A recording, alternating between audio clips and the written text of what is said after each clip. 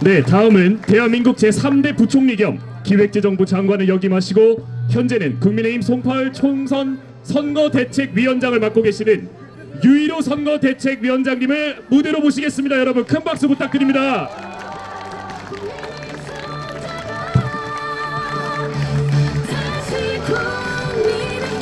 예, 존경하는 성파 주민 여러분 반갑습니다. 제 옛날에 여기서 유세하던 때 생각납니다. 근데 그때 10배 이상 오셨어요. 와, 저 뒤에 카페 저기 층계에서 우리 손을 흔들어 주시는 우리 국민 여러분들께 너무나 감사하다는 말씀을 드립니다.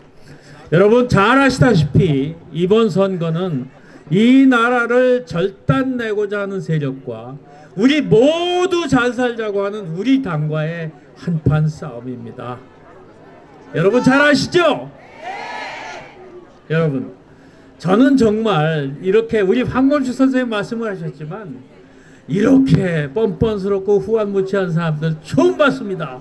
아니 도대체 그 원래 하지 못하게 돼 있는 대출을 받아놓고서는 그건 난 몰랐다. 양분함 아 미안합니다. 이 그쪽에 하도 양 문제 있는 사람들 와서 제가 이름을 헛갈려요. 양문석이라는 후보가 그렇게 얘기를 합니다. 여러분 그게 말이 됩니까? 그리고 자기는 남한테 피해를 준 적이 없으니까 아무 문제가 없다고 합니다. 여러분 그렇게 생각하십니까?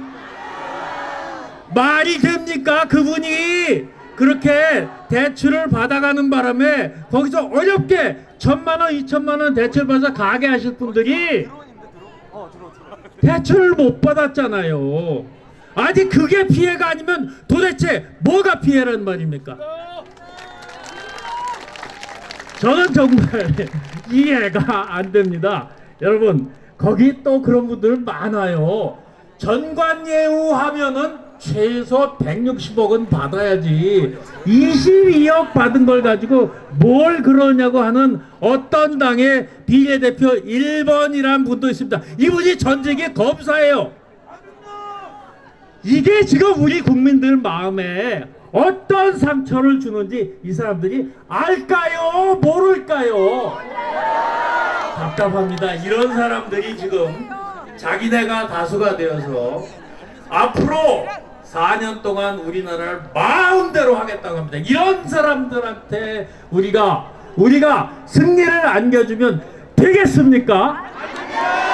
예, 감사합니다. 여러분, 오늘 우리 후보들 송파 가외 박정훈 후보, 송파을의 배현진 후보, 송파병의 김근식 후보 이분들은 그런 짓 절대로 안 하는 정말 양심적이고 바른 정치인이라고 저는 생각하는데 여러분 동의하시죠?